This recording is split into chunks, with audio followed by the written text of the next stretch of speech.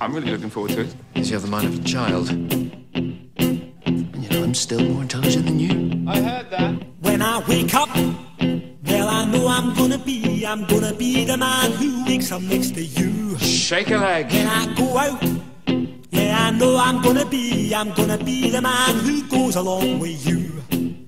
If I get drunk, well, I know I'm gonna be, I'm gonna be the man who gets drunk next to you. And if I heaver, yeah, I know I'm gonna be, I'm gonna be the man who's heavering to you.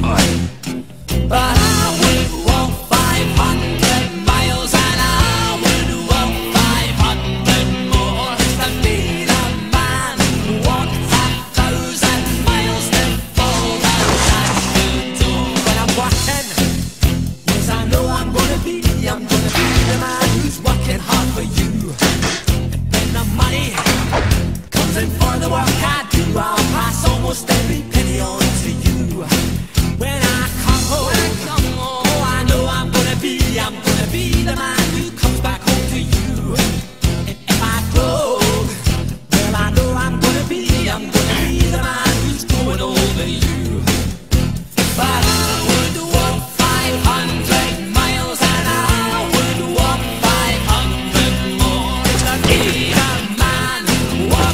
walks a thousand miles to fall down at Fast that.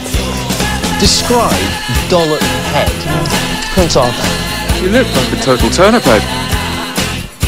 Lisa don't look like a bone idle toad. You weren't such a clotpole, you'd see that. Oh boy. He's such an idiot. You're a clock pole. That's my word. Sure you know what it means? You never cease to surprise. You're a lot smarter than me. Don't look so pleased the rest of the time, you're a complete idiot.